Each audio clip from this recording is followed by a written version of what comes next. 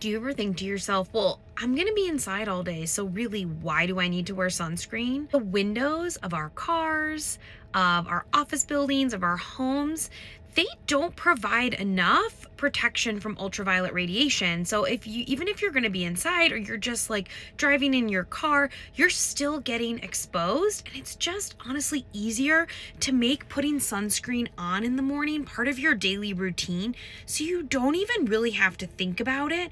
The only question is when and how often am I going to be reapplying? The other thing is when you're inside during the day, you're getting exposed to visible light. Okay, visible light is not the light from the sun, but the light from our phones, our computers, the overhead lights.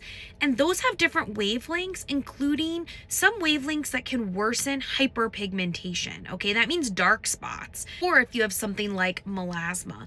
So, in those cases, it is especially important to be wearing sunscreen every day, particularly a tinted sunscreen, because the tint will help protect against visible light. This is just a hack to make your life easier because once you get in the habit of putting it on every day, you don't get where you're going think, oh my gosh, it's sunny and I don't have my SPF and I didn't put it on today. Give me a double tap and don't forget to hit all of the buttons.